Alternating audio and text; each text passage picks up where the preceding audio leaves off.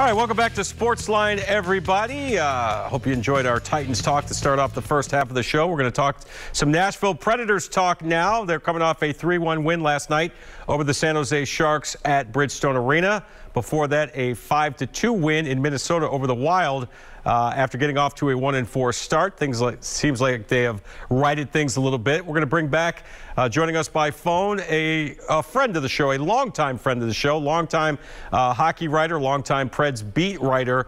And of course, you can hear him every morning on Robby and Rexrode on 102.5 uh, The Game. Uh, from uh, weekday mornings from 6 to 10, uh, along with another buddy, another friend of show, uh, Joe Road. We welcome back to the show at long last. It's been too long. Robby Stanley is back with us. Hey, Robby, how are you, man? JB, it's been way too long. What's going on, my man? That's yeah, charge it to me, man. Charge it to my head and not my heart. You know I love you to death, buddy. Uh, first of all, give us an update on what you're doing. I know you got the, the morning show on 102.5 The Zone with our buddy Joe Rexrode. How's that going, and, and how are things going from the hockey writing stand, uh, standpoint as well? Yeah, the show's going really well. Uh, appreciate you asking about it. Me and Joe are having a lot of fun uh, in the morning time, talking Titans, talking Preds, Vols, whatever the case may be. So 6 to 10 a.m. on 102.5 The Game. We have a lot of fun every morning, and it's been great uh, to really just kind of get into our own groove now doing that show. And still writing about hockey, doing things for our website at thegamenashville.com. And uh, as of right now, doing some things from NHL.com as well. I'd stay tuned on that front okay. uh, later this week. But uh, yeah, everything's going really well in Robby Stanley's world. Sounds great, man. Uh, were you aware that I also do a morning radio show here in town? Oh, oh, I'm aware. I am very aware. yeah, it's the Greg Pogue Jon Burton show. It's uh, 9 That's to right. 11 weekday mornings on. Uh... By the way, two wonderful people. Oh, two yeah. Wonderful well, people. Uh, you're half right. no, I'm just kidding. I love I love GP. I love I love the poster. He's the best. All right, Robby. Uh, a tough start for the Preds. Obviously, getting off to that one and four start. A lot of people were uh, getting a little antsy when they lost the uh, season and home opener to the expansion Seattle Kraken. Uh, some tough losses in there, but since the one and four start, two straight wins. They get the win uh, Sunday in Minnesota. They come back home last night, a 3-1 win over the San Jose Sharks. Uh, what have you seen so far? I know it's early, but what are your early impressions of uh, the Nashville Predators so far?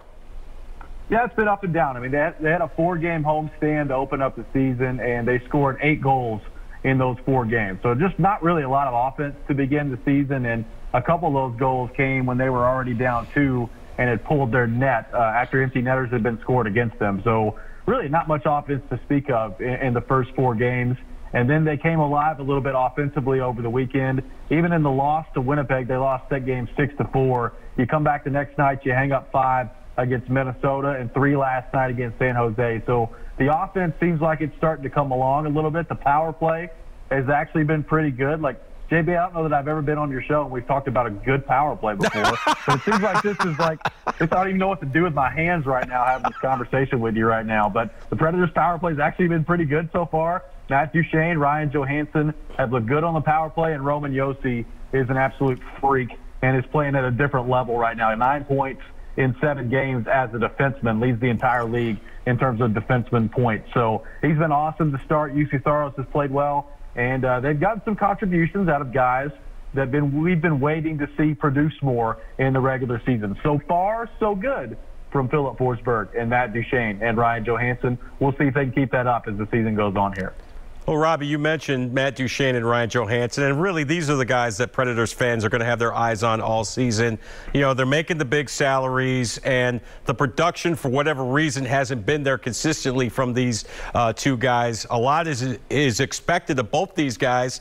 As I said, you know, they're making a pretty good buck. It's, you know, to see Duchene get a pretty power play, play goal last night. You mentioned Johansen doing a little bit of goal scoring, a lot of facilitating like he normally does you know, if this keeps up, that should be a good sign for this team going forward, right? Absolutely. And, you know, that's really, those two to me are, are largely going to determine what this season looks like. Full disclosure, I had the Predators finishing in seventh place in the Central Division before the season began. So a lot of that honestly came from not very much confidence in Matt Duchene and Ryan Johansen mm-hmm. to be productive. So far, they have been. So that's obviously really good news for the Predators.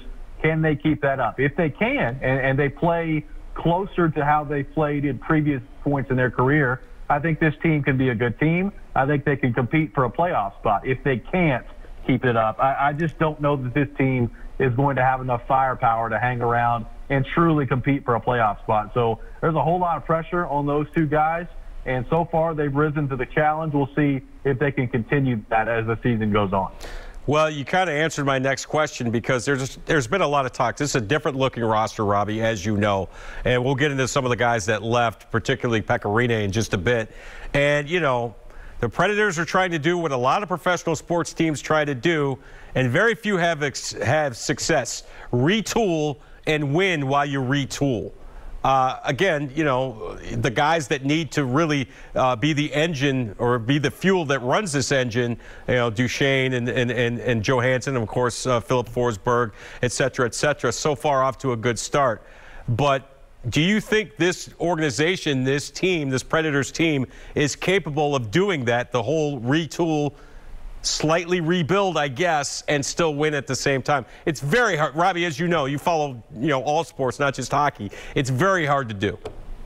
It's very hard to do, and it's a situation where I think you need uh, you need to see a lot out of your young players early on, and I, I think that's a really challenging thing to do at the NHL level. I've been really impressed by Philip Tomasino so far, their first round pick from a couple of years ago. I think he's looked really good in the games that he's been in there. You know, younger guys that, that came on last year, like an Alex Carrier or a Yakov Trenin, Tanner Jeannot, those guys have largely been really good so far. So, look, I, I think there are a lot of young play, young players on this team that you feel good about as you move forward here. But, you know, retooling on the fly, trying to rebuild on the fly. JB, a lot of that question to me really comes down to what does the future look like with Filip Forsberg. They had some good news a couple of weeks ago, the day before the season began, locking up Mattias Ekholm to mm-hmm. a long-term contract, got a four-year extension.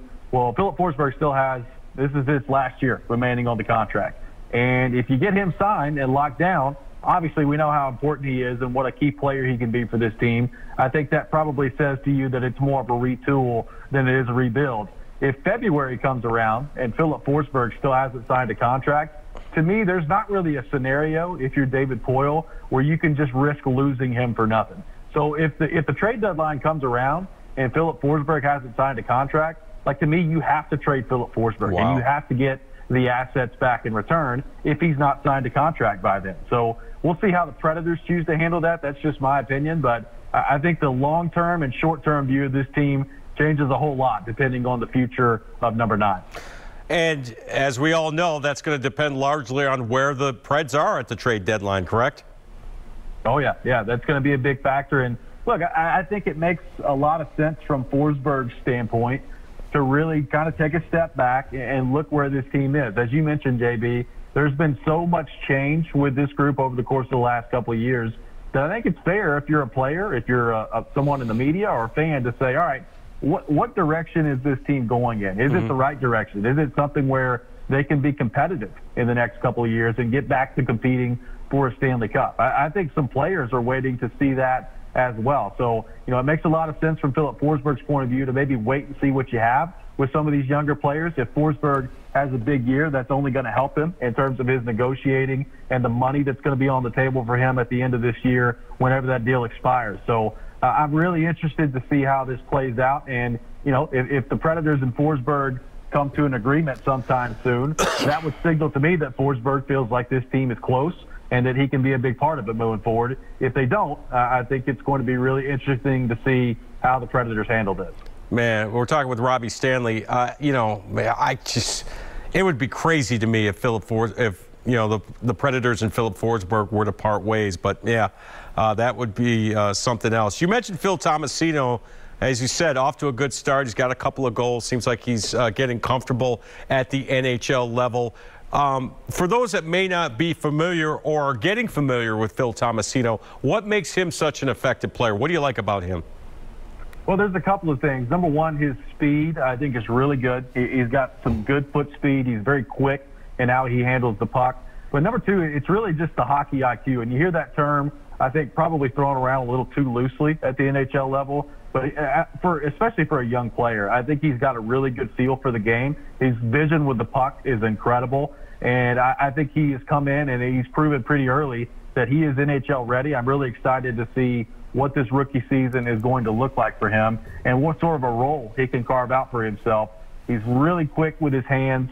You know, he was at the American Hockey League last year, which, you know, actually the, the, the COVID season, quote unquote, last year for Tomasino, ended up being a blessing in disguise for the Predators because in a typical year, given his age last year of 19, he would not have been eligible to play in the American Hockey League. He would have had to go back to juniors where he's already proven to be way too good for junior hockey. He actually, because the junior league that he plays in didn't play last year, he was eligible to play in the American Hockey League, and he had 32 points in 29 games. So over a point per game last year in the minors.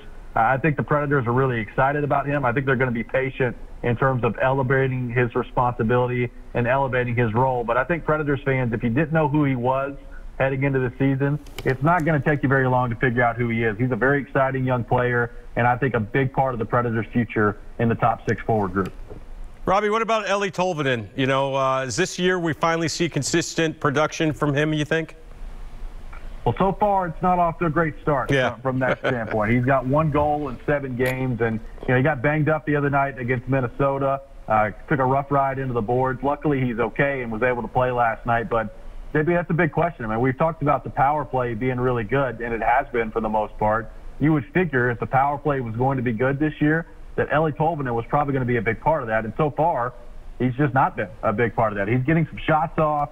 Uh, he's, he's had no shortage of pucks that have been fired on the net. Uh, they just haven't been going in for him, and, and quite frankly, a lot of them have not been very quality shots. So mm. uh, I'm interested to see if he can figure it out. Uh, I think this is a big year for him in terms of putting it all together, being more consistent five on five.